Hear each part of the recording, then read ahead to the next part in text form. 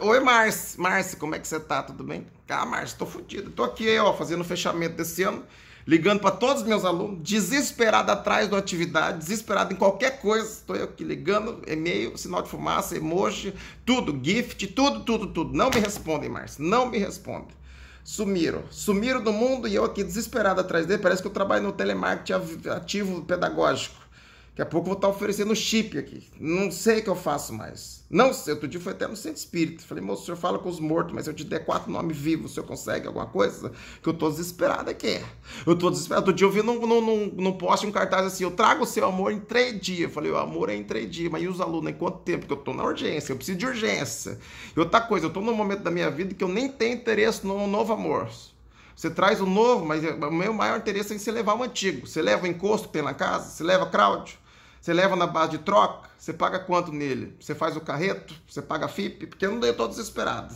Eu tô desesperado, maestra do céu, não quero. Eu, outro dia eu quase liguei na polícia. Falei, ó, oh, moço, eu preciso fazer um BO.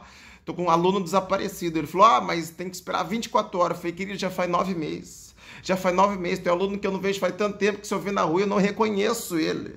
Eu não reconheço. É difícil, Márcia, eu não sei o que eu faço. E a, pressão, né? Agora é uma pressão, porque tem que passar, tem que passar, tem que passar, tem que passar, tem que passar. Eu falei pra diretora, falei, menina, tem aluno. Tem aluno que é igual Peugeot, é difícil passar pra frente, não é fácil, não é todo mundo que quer. Entendeu? É igual carro velho, bichado. Fala, quanto é que você quer? Fala, não quero nada, só assumir dívida. Você não quer nem assumir dívida, porque o aluno vem, vem assumindo dívida de 9 anos de burrice, Márcia. Como é que você vai fazer pra passar pra frente isso? E agora tem que passar, mas qualquer atividade, pede um trabalho para eles. Faz trabalho só se for de macumba, eles não fizeram nada esse ano. Eles não fizeram nada, eu vou fazer o quê, Márcia?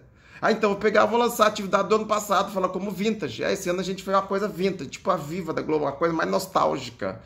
Ah, não, Márcio, pelo amor de Deus, não tem condição. Márcio, a impressão que eu tenho é que a gente tem que ficar passando, parece que eu tô na delação premiada. Parece que eu tô na delação premiada, parece que eu não tô ligando pros meus alunos da Odebrecht, falo, me ajuda que eu te ajudo. Eu preciso que você me ajude para te ajudar. Você entendeu? Daqui a pouco vou pegar um oficial de justiça e bater na porta dele, ao invés de falar, eu preciso fazer uma busca e apreensão das suas, das suas atividades. Eu fazer uma busca e apreensão do seu caderno, que é a única maneira de eu conseguir uma atividade desde é isso, Márcia.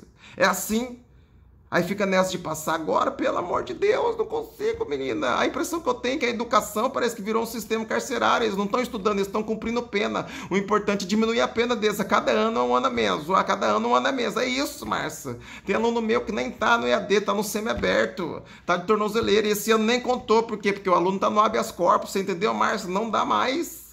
Não dá, eu tô desesperada, menina. Nossa senhora, não sei o que eu faço. Não sei o que eu faço. E aí vamos passar pra frente. Puta que pariu, Marcelo aqui, ó, desesperado. Nossa, falei, deixa eu desligar. Márcio, eu tô tão atrás deles e não tô achando, não tô, juro, juro, é horrível a sensação. Agora, Márcio, eu sei o que o banco passa comigo. Nossa, tô sentindo na pele. Misericórdia. Falando nisso, tem que estar um consignado. Tchau, beijo.